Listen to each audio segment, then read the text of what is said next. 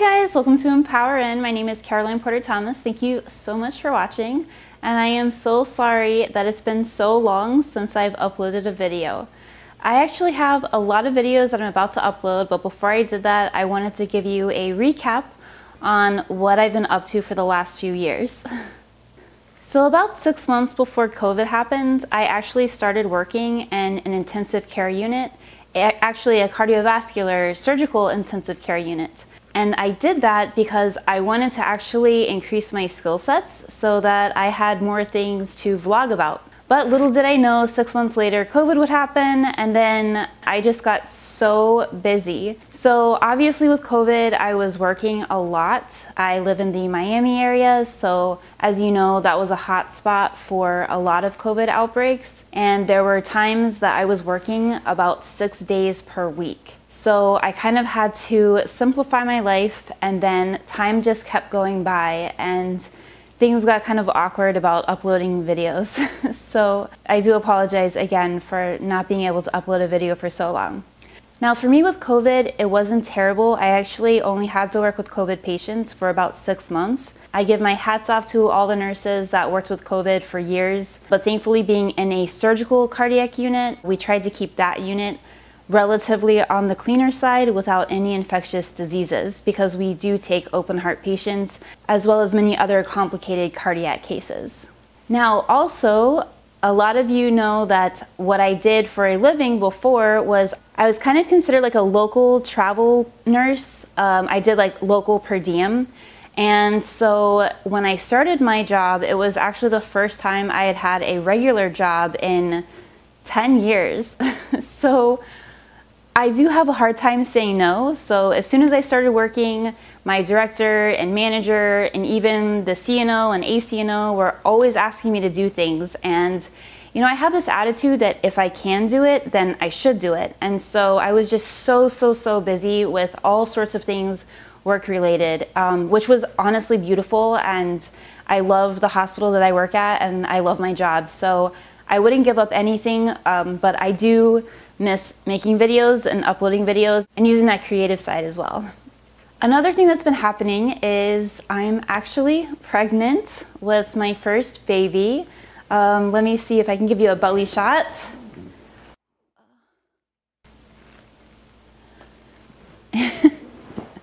so as we speak, I am 27 weeks pregnant right now and my husband and I are super excited to be welcoming our first baby, and it is going to be a baby girl. And so we're getting prepared and excited about that. So when you do see the videos that I upload, if I look a little bit heavier, I am heavier. So just keep that in mind. Um, the baby bump's just getting bigger, so most likely it will just become more visible, which, you know, we're very, very blessed, and I'm very happy about that. Now, one thing that I've also been dealing with was I did have kind of a health issue. Looking back, I'm wondering if that did have an impact on my ability to upload videos because I was just so fatigued all the time. Now, with the pregnancy, we were checking my labs and I ended up needing to go see an endocrinologist, which it just so happens that one of my really good friends is an endocrinologist, so I went to see her and I was diagnosed with Hashimoto's. So that was a little bit um, hard. So when I first um, got the diagnosis, my initial plan was just to get off medication as soon as I deliver the baby because I know that the baby relies on your hormone until a certain amount of weeks. But now that I've been on Synthroid for a while, I realize that I think that I was really sick for a long time. For quite a while, I just I wasn't able to handle much.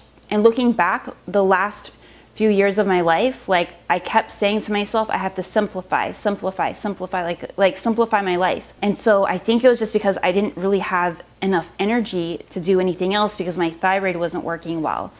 So now my goal is to get off medication, but now that I see how much better I feel on the medication, I do want to do it slowly and at a pace that my body can handle.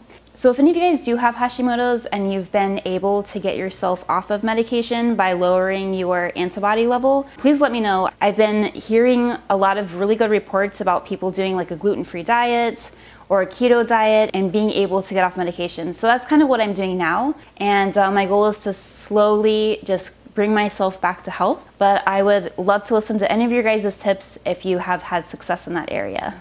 And lastly, what's coming for this channel? Well, some really cool content, and it's all gonna be ICU focused content.